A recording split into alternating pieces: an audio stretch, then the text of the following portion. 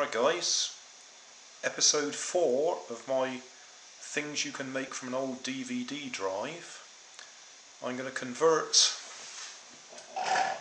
this car that I made in episode 3, the propeller driven car, to a gravity driven car. But before that, I'm just going to spend a couple of minutes and convert it to a good old rubber band powered car because that will be very simple to do. All I'm going to do is take the rubber band off the propeller and wrap it round the back axle. So I'll do that. Right, I've taken the propeller off.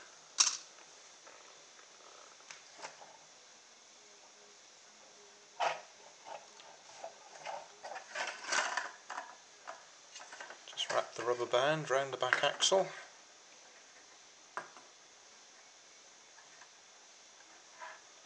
Just winding it on itself to hold it in place on the axle. We don't want to get too carried away because it's only got to go up the kitchen. That should be plenty I would think.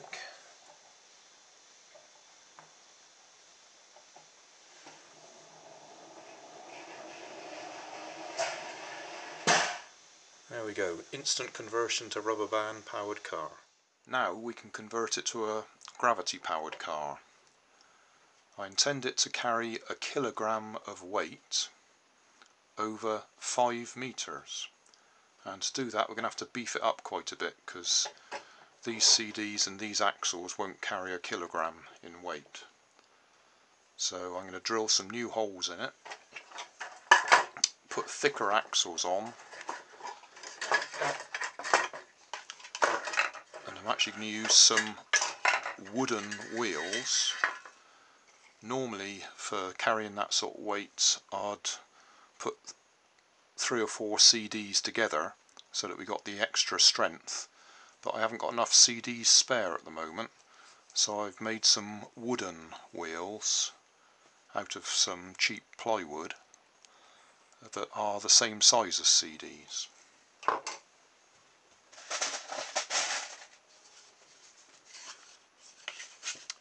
And I haven't actually made them all that well. I've got a flat spot on that one, so never mind. That's what I'm going to use for wheels. As I say, that's they're the same size as CDs. I'm just using them because I haven't got enough CDs to go round at the moment. Okay, we don't need this bit on here, so that just comes off nice and easily. That's what I like about hot glue, it's easy to remove. Right, I need bigger axles.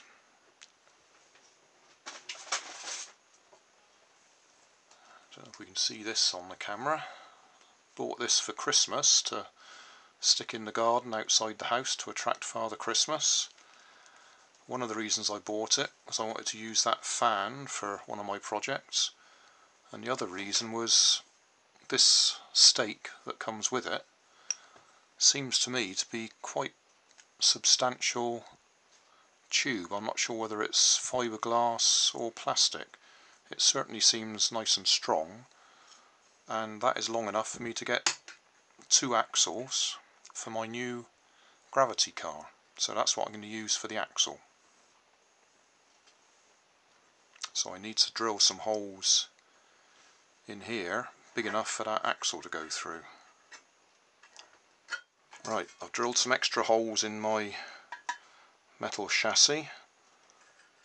Some big ones here for the axles to go through and some extra ones here which is where the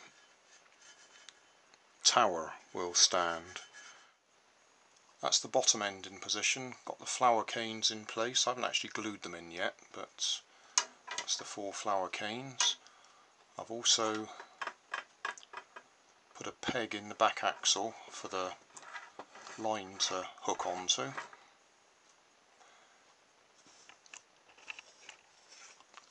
I've just been made this wooden plate with a slot in the middle out of a bit of old plywood that I shall use for the top of the tower.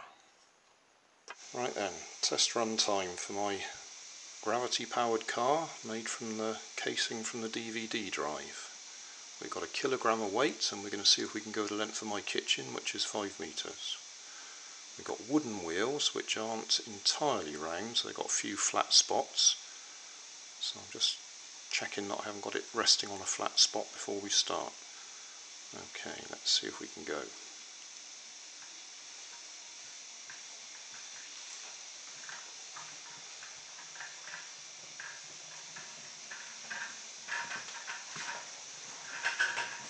Picking up speed quite a bit.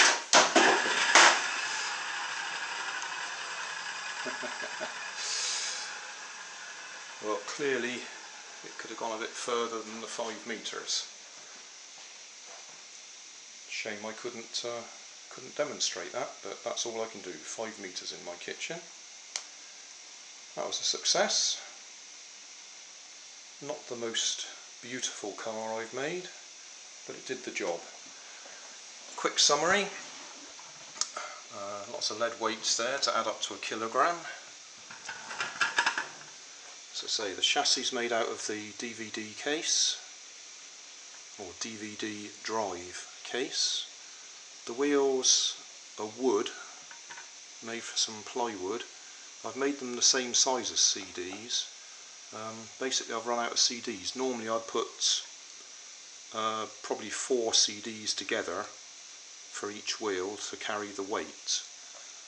Um, but I've run out of CDs so I've had to cut them out of wood which is why they're not entirely round. They've got a couple of flat spots on them. The tower is made out of flower canes that I've doubled up, actually hot glued them together to make them stronger. Top of the tower is another bit of my plywood and in the middle of that we've got the pulley that originally came out of a record player I think, an old record player. And we've got fishing line which is 18 pound breaking strain which is enough to carry the kilogram weight. The axles are some tubes that I got for some Christmas decorations.